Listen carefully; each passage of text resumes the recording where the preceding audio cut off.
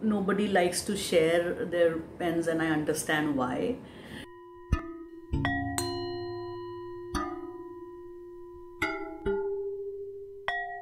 What is the profession I would choose uh, depending on you know what stationery I get to use?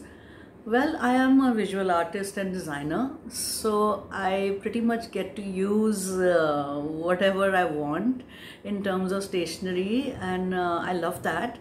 So, I work a lot with digital graphics and uh, acrylics, and uh, I use a lot of pens because I sketch a lot. Uh, lots of lots and lots of notebooks sketchbooks if i want something more uh, that would be using charcoal and probably work with oils that i haven't done much of so uh, i would like to do more of that and experiment and see where that goes but yeah i'm having a good time with uh, what i'm currently doing when we started writing with those fountain pens oh my god i just loved that I, uh, you know, my handwriting improved, and I used to look forward to writing like English uh, cursive writing essays and all of. I love. I used to love that.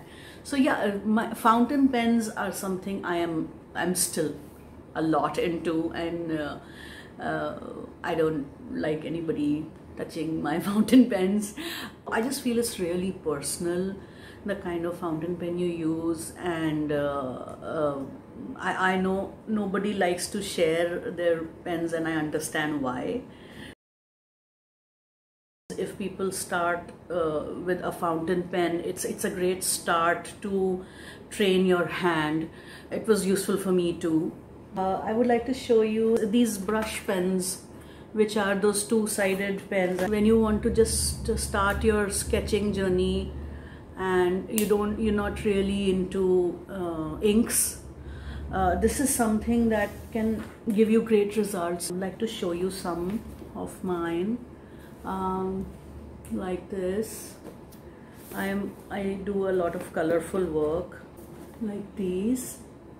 So I, I, I do a lot of uh, casual sketching have a great time uh, buying great stationery and enjoying it